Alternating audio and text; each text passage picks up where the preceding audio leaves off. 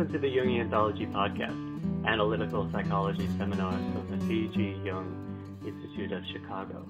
Episode 14 Jung and Spirituality with Warren Sibilla Jr., PhD. The slides from this talk are available online, and a link is in our show notes. And today's lecture will be introduced by Mary Doherty, Director of Programming and past President of the C.G. Jung Institute of Chicago. Hello, my name is Mary Doherty, and I'm here to introduce Warren Sibilla, who will be speaking on the topic of Jung and spirituality.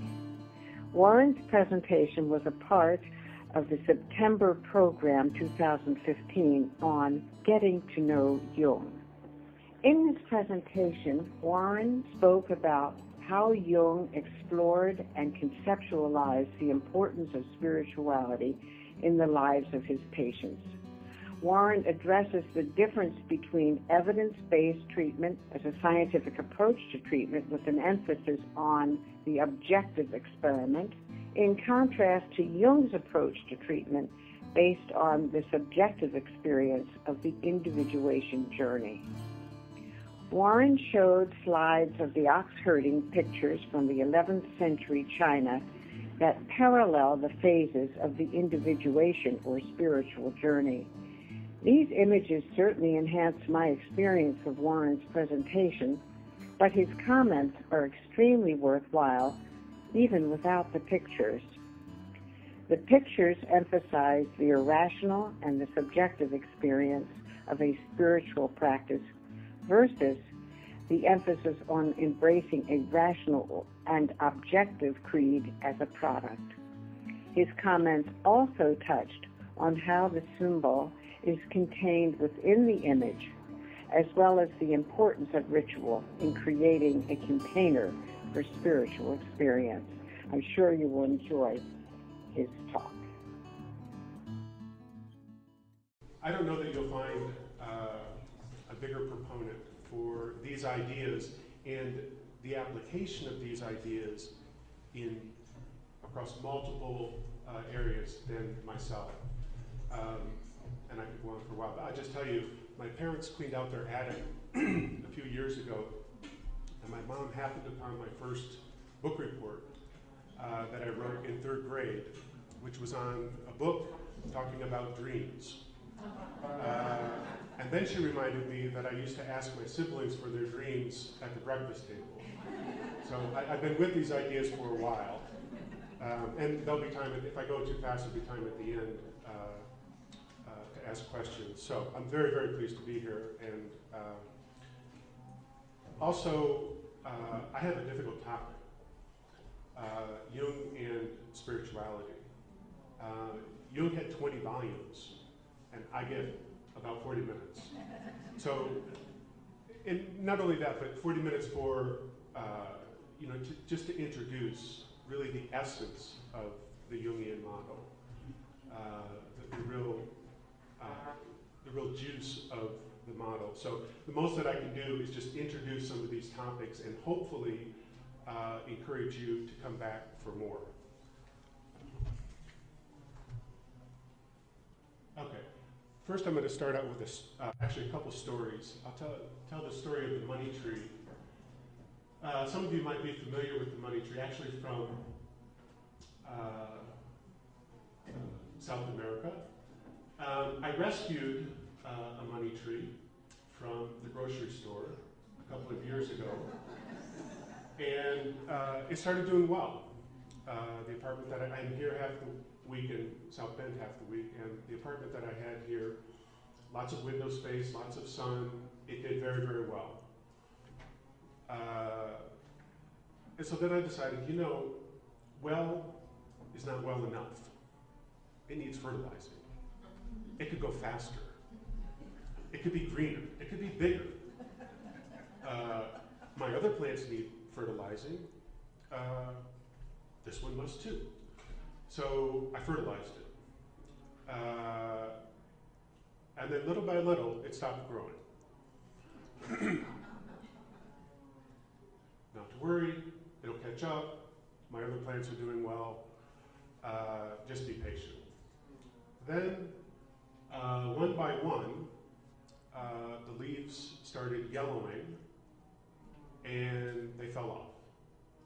It's kind of like that Christmas tree and the peanuts, you know, where there's all the leaves fall off. Um, but then uh, I waited, uh, and it got late one night, and the last leaf fell off just before midnight. Now that's important. Uh, really studying very carefully the whole experience. Uh, I got very sad. Then I decided, well, you know, there is something that I could do. So I took it out, I washed it in my sink, washed all the roots, got a new pot of soil, and potted it, repotted. This is the money tree today. I've had to twice move it because it's trying to push through the ceiling. and it's heliotropic, it moves toward the sun.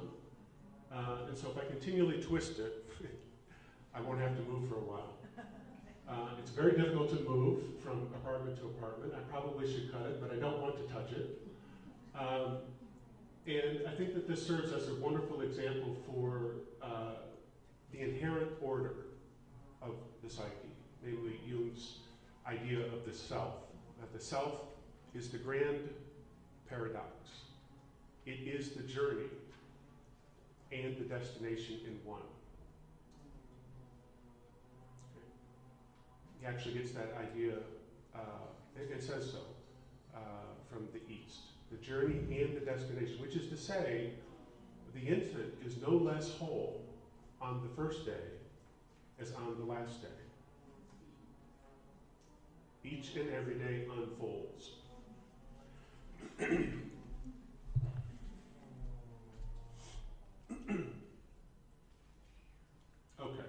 my stories are about flowers now. My kids are older uh, and independent, and so now I've taken on flowers and plants and trees. Uh, and in particular, the uh, African violet. Uh, I went to a African violet flower show uh, up at the Botanical Garden a couple of years ago. And it was really an incredible experience because uh, you get to see the, you know, the, the whole of humanity. Uh, has anybody been to a flower show? Yes. They're kind of competitive. I, I thought it was going to be a fun Sunday. These guys are competitive. I mean, you know, how purple is purple? And, and, they would they would have boxes where they would have their flowers, and they would just at the right moment they would present their flower to the judge, and they uh, it's really something. So then I started asking questions and realized that the people that didn't win then become judges next year and it just rotates until their flower gets to win. so, uh, but quickly I sided with the flowers. You know, uh, how purple is purple? Or do I, am I purple enough? Right? Which is, which is to say, uh, we live in a world has become obsessed with the objective. Our discipline uh, is being, my perspective, is being infected uh, by the obsession with the objective. Uh, for example, you know, evidence-based treatment. Uh, also, uh, I teach at the Chicago School of Professional Psychology, and they are using uh, a treatment manual to uh, teach psychotherapy to would-be psychologists. A treatment manual.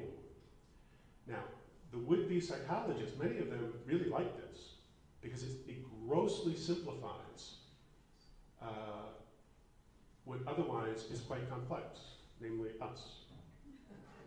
And they can then say, well, look, I did what it said on page 12. I did what it said. It didn't, you know. So therefore, you're the problem, not the manual. Right? Jung's model, and in particular spirituality, is a relationship with the subjective. Okay? Now, now here, look at this. the hallmark of objectivity, science, right, is the experiment. We reach out into nature, take a piece of it, look at it, say something about it, recognizing a 5% error rate, we might be wrong a bit, then we put it back, right? the hallmark uh, on the other side, the subjective, would be experience, right? Simply one's experience, my experience with my money tree or the flower show, my experience. The interesting thing is that experience and experiment are essentially the same word. They have the same etymology, which means to learn by way of repeated trials. The question becomes do we trust this outer objective world, or do we trust the inner subjective world? Right? Now, I've, I've posed that in terms of a dichotomy. Jung's model is a relationship between the two, but not one in spite of the other. Right? What, what he early on called number one and number two personality. Right? The objective, this outer world, and the inner world, our subjective experience. In fact, when you study very carefully, uh, radically study one's subjectivity, you arrive at the objectivity, namely the archetypes, the universal patterning of our experiences. One very quick example.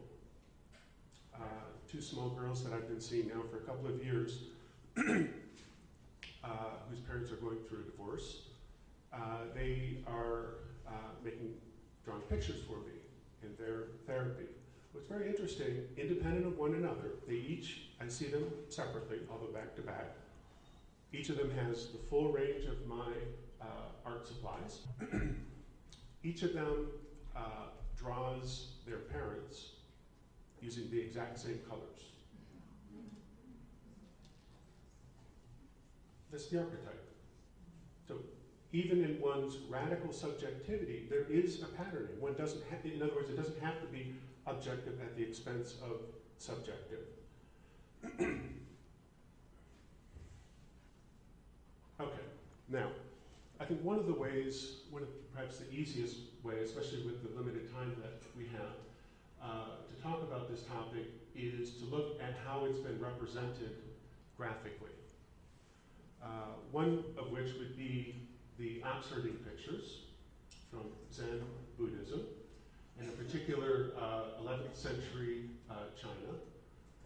Uh, there are a series of, uh, actually there are four series. There's a series of uh, five, six, eight, and then the current set is at 10. I won't go into the history more than that, but they, they represent the spiritual journey. Okay, one way of graphically trying to represent some of these ideas. Now, uh, this is the first picture, and these pictures are painted using the uh, philosophical principle of wabi, W-A-B-I, uh, which is uh, akin to uh, Jung's notion of uh, individuation.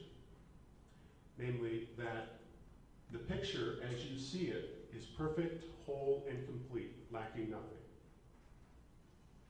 It is exactly as it's meant to be. Nothing is superfluous. Nothing is added, nothing is exaggerated, nothing is minimized.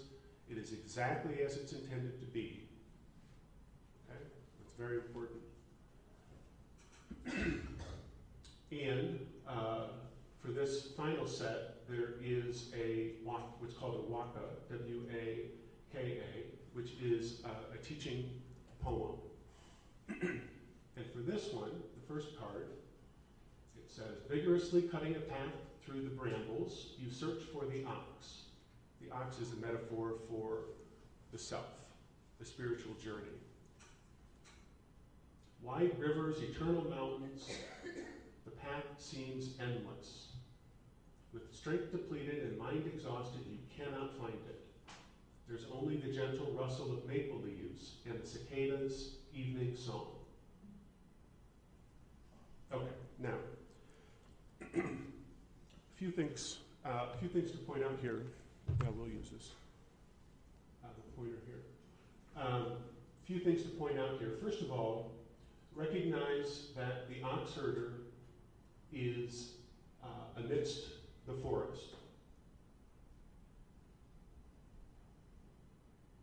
Okay, which is long uh, been uh, an image of the unknown, that which is uncharted, the unconscious, similar to uh, the sea, the lake. Okay, the ox herder also is on a bridge. The ox is betwixt and between, in the middle. Uh, known blues music as being at the crossroads. Neither here nor there.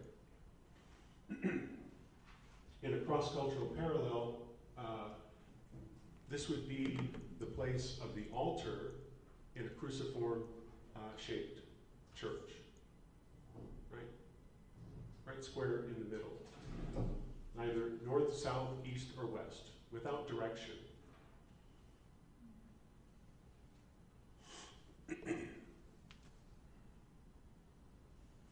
Notice also that the ox herder is looking over his, her shoulder.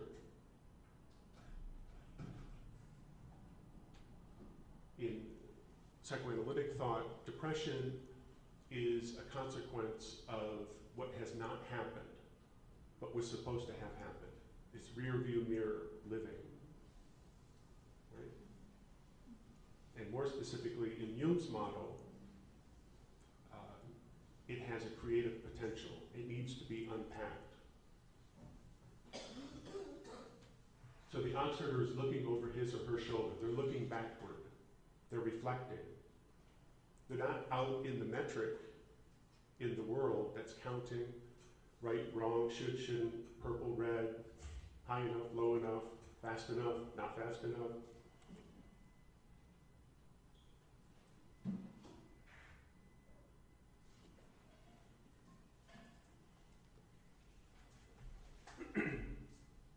The symbol for Jung carries the energy. Okay? Uh, from the Latin symbolum, which means thrown together, the opposites thrown together. Okay? Regarding the symbol, Jung says, their pregnant language cries out to us that they mean more than they say. A symbol remains a perpetual challenge to our thoughts and feelings. That probably explains why symbolic work is so stimulating, why it grips us so intensely, but also why it seldom affords us a purely aesthetic enjoyment.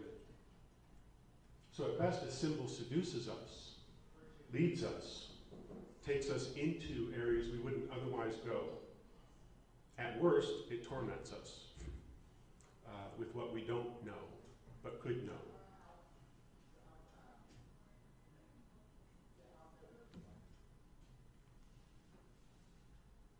The image is contained within the, sim- within, the symbol is contained within the image. the image is the container. This is from uh, the set from Pu Ming, uh, the set of six pictures. Also the first picture, but they, that's what was changed. They added some on each end. Jung says regarding the image, the image is always an expression of the totality perceived and perceivable, apprehended and apprehensible by the individual. It's a container of all opposites.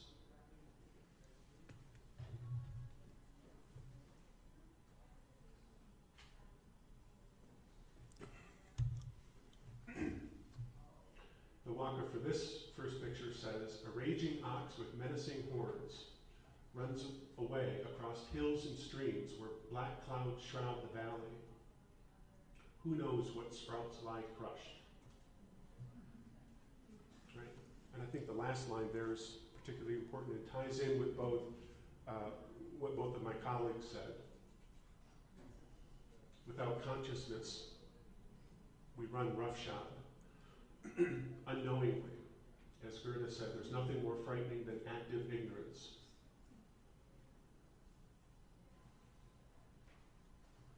You see this also in the political races. I mean, this really, this season, I look forward to this once every four years when I teach because I, I, I have all the examples I need right, right, right at hand. Why is that? Because when we get into groups, the projections start really flying very, very quickly. And that's one reason why Jung was very, very leery of groups. Uh, we get a, a, group mentality, crystallization is what the social psychologists would call it. Um, we would call it simply loss of, of ego, loss of individual voice.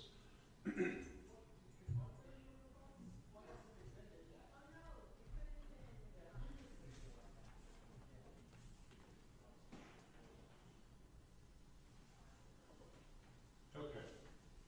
Now, if we go back to the Waka, remember the Waka said, with strength depleted and mind exhausted, you cannot find it.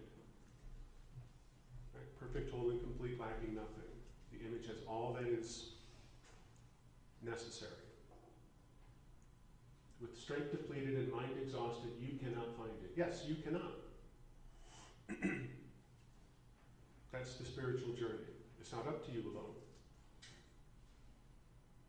There has to be uh, some type of transformation, some type of death to the ego. Now, uh, in extreme forms, say extreme depression with suicide, that change becomes concretized, literalized.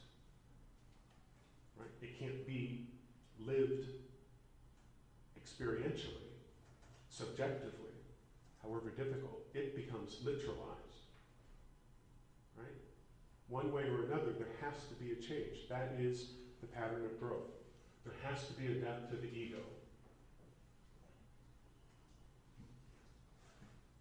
In Zen, they would uh, call this the backward step, the great death, the backward step, looking within, finding the compass within instead of orienting oneself from without, outside oneself.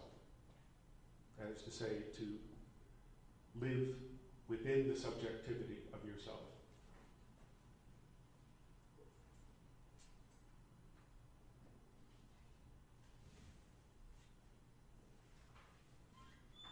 Now, Jung's argument, uh, very simply uh, summarized, was that the churches were treating uh, this subjective experience as a static entity, putting it in the form of a creed, which makes it about belief instead of experience.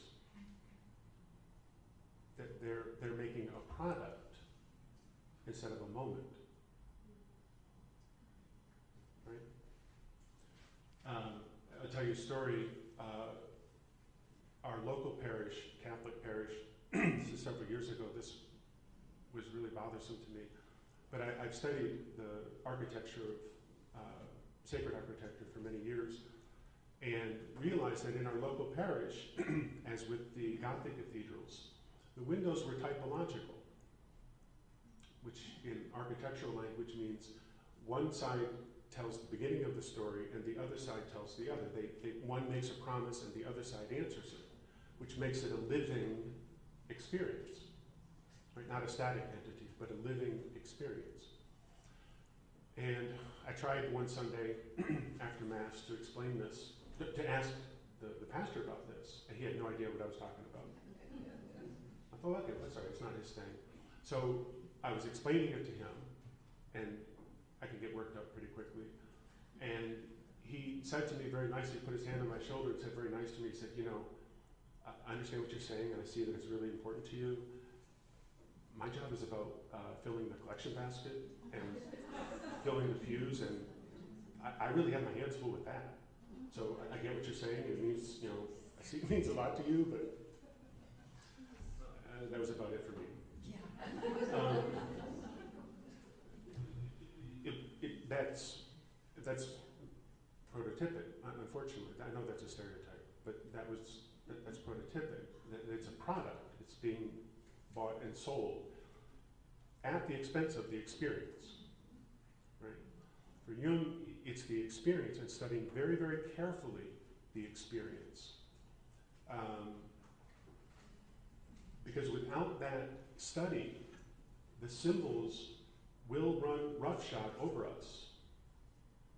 I, I mean, there are, uh, obviously there are certain religious symbols um, that, if treated in a particular way, will stir people up very, very quickly. You, you can't convince me that they're not loaded with energy, loaded with history. History that is loaded with experience in relating to these very powerful images filled with symbols. Yes.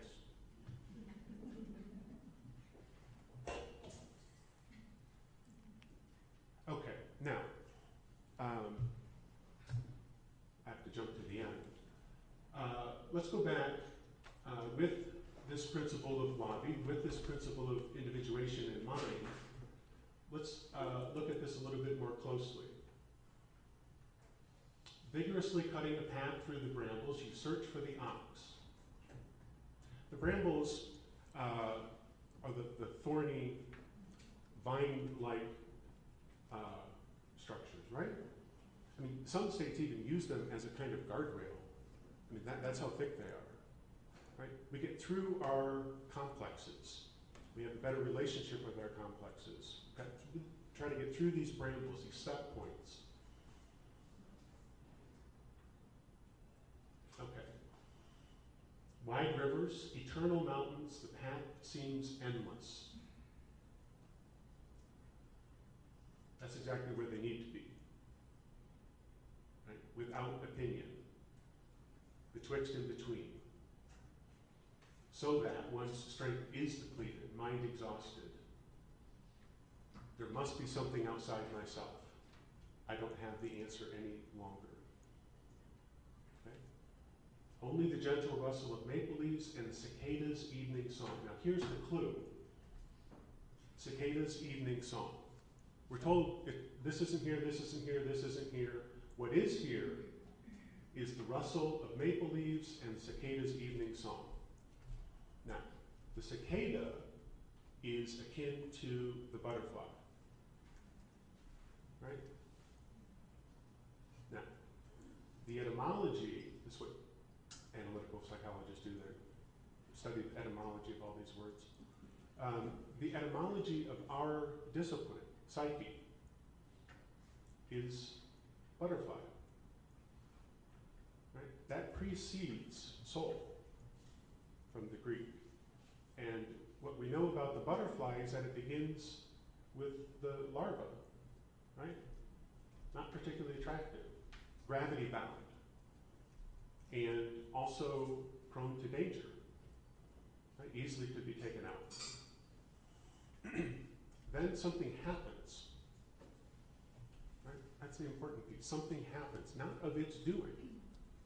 A process unfolds and it cocoons. Uh, still, that cocoon is at, uh, in danger. Right? Something takes place within the cocoon, and then suddenly it's released. Right? Again, a process. And then it's no longer gravity bound. Right?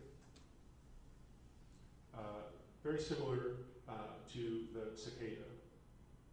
So, what we're told here is the natural rhythms of nature need to take place.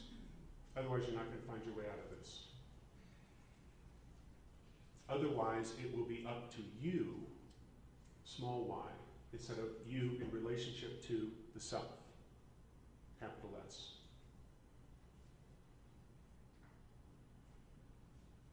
Okay, now, with that in mind,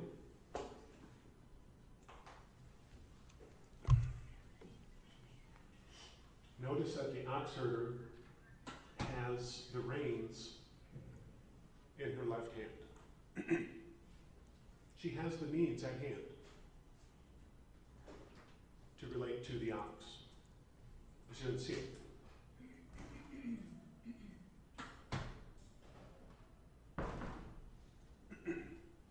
Also, uh, in a similar manner, the ox herder is looking over her left shoulder. Left, not right. Left, the irrational. The subjective, not the objective. Objective would be right. Right?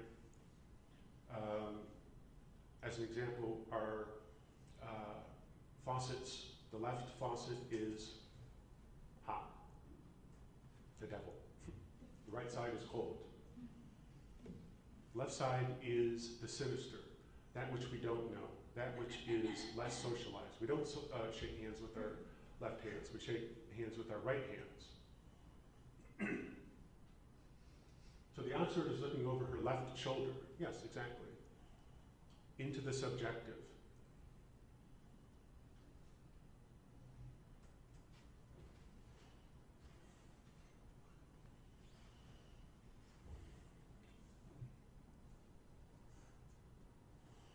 So here it becomes then a means of how do we tie it together?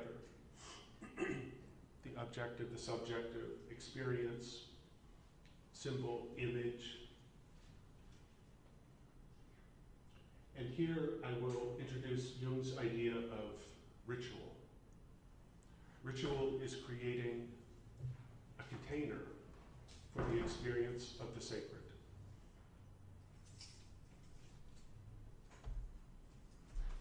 creating a container, not created. It's a verb. It's continually creating, recognizing the divine, the spiritual,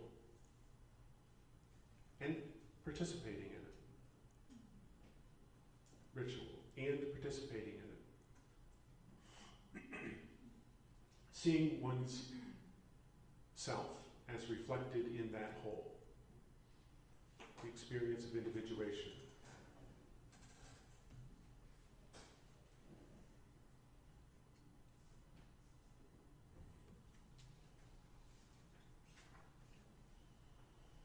Spiritual practice, then, the concentrated effort toward embracing the whole of our human experience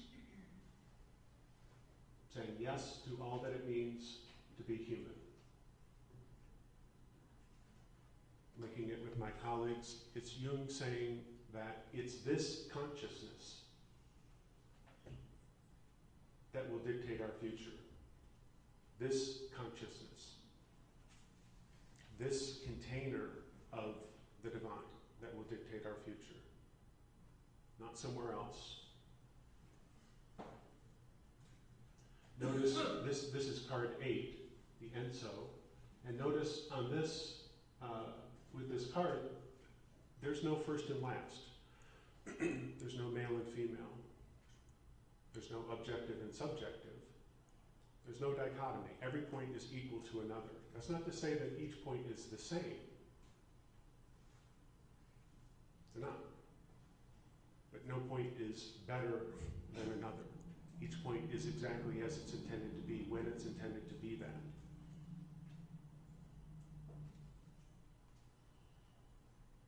Okay, thank you very much for your time and attention.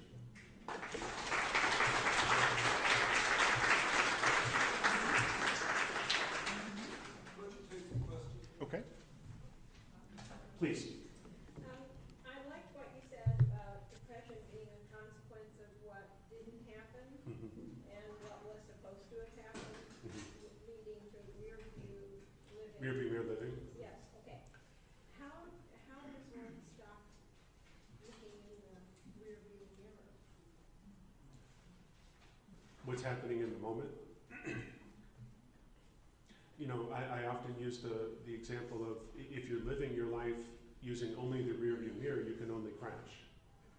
That, that's the only thing that can happen. There has to be a combination. You have to see out the window. You don't drive without the rearview mirror.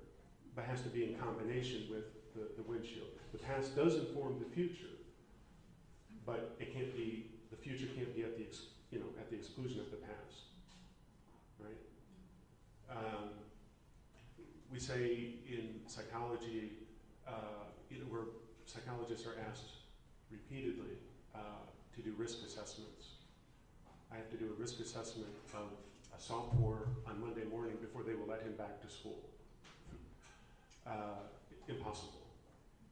How do we predict behavior? Well, we say the best predictor of future behavior is past behavior. You want to know what somebody's going to do? Look to what they've done. Problem is that's a linear model. And if you follow that out, that means behavior never changes. Well, that doesn't happen.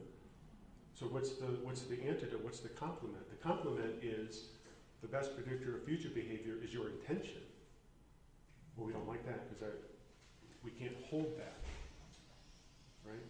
We can't. That's we can't objectify that. The school wants something objective. Tell us he'll never do this. Well, that means he wouldn't have a heartbeat. uh, I, I can't do that. Well, reasonable certainty. It's Monday morning. How about that? That's reasonable certainty. Uh, so it, it's always a combination, but but it's changing the ratio so that the, the complement would be to look in the present moment. What's what's not happening in the present? What are you not seeing in the present moment? What is being overlaid too much from the past, which is occluding a, a more comprehensive look at the present. Does that make sense? It's, it doesn't give me a real tool, except, I suppose, what would that be, to just meditate? or, uh, Well, it's- it's- Listen to the cicadas? I'm, I'm looking for a tool I could use to stop the lifelong habit of looking in the rearview mirror. You can, uh, in any given moment, you can uh, uh, look at 10 uh, items and uh, become aware of them. That's good. This moment, this temperature, this feeling, this color, this. Uh, uh, uh,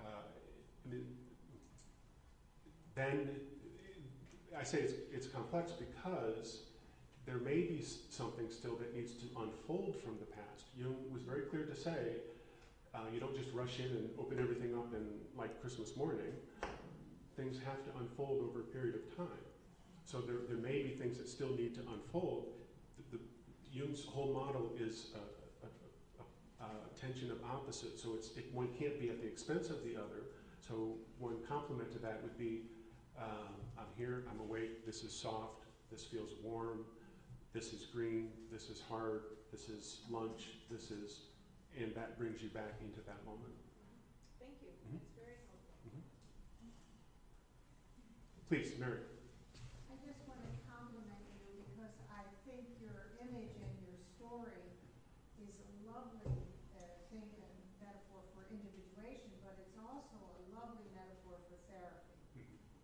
It is how we walk along the path with our patient as it unfolds, listening to what's happening, listening to the, the rustle of the leaves and the small things that come forward in the process. Right. So I think it's, I, I appreciate your sharing this Oh, with thank you. us. Please. Talk a little bit about the subjective and intuition, how does that play? You know, I think we're seeing both objective and subjective, I was thinking in terms of intuition. Does intuition play into that and how, how, how does that happen? Talk about intuition. Yes. Jung's working definition of intuition, well, first of all, he said it was the sticky wicket, right, Boris? It's the sticky wicket of the four um, because it is intuition by way of the unconscious. Perception, sorry, by way of the unconscious, which is to say, uh, people who are intuitive um, perceive things uh, quicker, faster, and often more comprehensive than those around them because they're, they're taking in a different data set. Um, not necessarily always so pleasant. Uh, I'll give an example. Uh, a year and a half ago, some of you may remember there was that um, drowning uh, in the river. When it was frozen over, somebody had lost their cell phone from Minnesota, and they all just walk under the ice and get it, and then suddenly several of them were on and one drowned. Um, well, my apartment at that time was right across the way, and I was sleeping, and cheap into the middle of a dream was get up, something's happening really important now in the river. Okay, got up, looked out the window, everything was happening. That's perception by way of the unconscious. You know, there, there's, there's data there, um, we just tend not to take it in. Uh, and it requires a great deal of trust because it's irrational. It was one of the two irrational functions, meaning ratio that which can be, you know, organized quickly, neatly, irrational that which can't be ratioed. Uh, another time, my wife was planning a surprise birthday party, and I almost caught her. Almost. Just a few more hours and I would have been there. Because uh, I was asking too many questions, like, you know, something's not right, or something's not right, something not. She finally she said, you know, would you stop asking so many questions? Uh, it's it's taking in data that is usually not considered, um, and honoring that, and seeing that there is a validity to that. Often it requires a lot more patience uh, because it has to unfold over time. Does that make sense? Yes. Great. Following up on that, sir, uh, would you classify that as data, data that cannot be quantified and measured to produce outcomes? Uh, well, I don't know. I, maybe I see that a bit differently because the mind's always going to take it in and try to hold on to it. So uh, I would I would answer that by saying, does it always? By asking another question, does it always have to be? No, it doesn't have to be. Um, you know, uh, William Blake said, uh, "Truth cannot be told so as not to be understood and be believed." You know, truth is truth. It's always truth. It's never not truth. Um, two people can sit silently and know and experience a truthfulness. That doesn't have to be quantified. Uh, so no, but the mind's tendency is to quantify it. You're, you're saying this is legitimate data, Yes, it should not be discounted because it can't be measured that's right. or easily. Right. I'm back with the Please. plan. Um, because you wanted it to be more purple, you interfered with its natural process. Yes, and it forgave me. I'm sorry? It forgave me. You shit on it. I did. I made it mine and not it. That was a pronoun. The money tree. Then your intuition told you something. That it's not wrong to interfere with the process. Mhm. It's just that you have to interfere in the right way. Yes, cooperate. How, well, I won't ask you, but how do you know that washing all the stuff away is gonna give it a new chance to be what it ought to be in the first place if you left it alone? Uh, good question, because it is where it's at now. I, I've had other plants uh, die, and I've tried this and that, and they didn't, and I've had to come to terms with that. So this is an example of chance? Uh, it, it's an example of my giving the money tree its fullest opportunity to be what it was meant to be. As Jung says, the oak becomes uh, the, the oak tree and not the donkey. So this is what you're trying to do with your patients? Yes. The other thing, that, that was part one. Part two is the other thing, is about the ox herder. Mhm. Little Bo Peep has lost her sheep and can't tell where to find them. Leave them alone and they'll come home, wagging their tails behind. Mhm. The ox is in the picture, he Mhm. just didn't see it.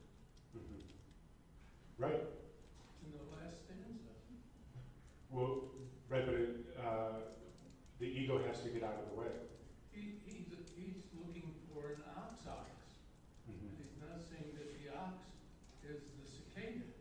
That's right. But more importantly, he is the cicada. And then beyond that, um, he's not the cicada. We all are the cicada. And he is, he's at best one thread in the whole tapestry. My intellect doesn't go that far. Or take, take one more and finish. One more question. Okay. Be done. My president says one more question for us. To speak to your question about intuition and uh, reliability of the John table, uh, there's uh, some very interesting information that comes from studies at the Stanford Research Institute. Just one, and this was in remote viewing. The concept I want to present is uh, very brief. Concept I want to present is very brief. That's the that's the difference between signal they did in these experiments for remote viewing was have several uh, subjects, several people, view the same remote target. And what the, the images they got, uh, they got images and then they tried to describe them, factor out the words, because that just messes things up. So when they compared images between viewers, there were similar elements and there were dissimilar elements. The similar elements are the signal, the dissimilar elements are the noise. And so in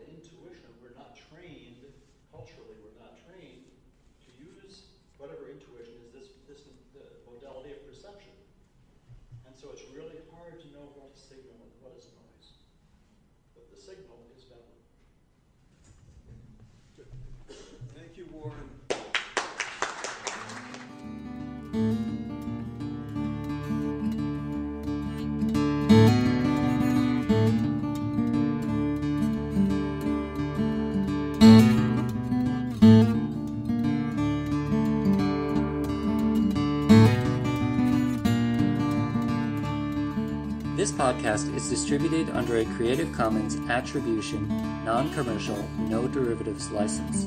Share it all you like as long as you maintain the attribution to the speaker, but please do not change it or sell it. If you like this episode, tell your friends about us or leave us a review on iTunes. For more information about classes, training programs, videos, audio, this podcast, or to find a Jungian analyst near you, visit our website www.jungchicago.org. Thanks for listening, and we'll see you next time.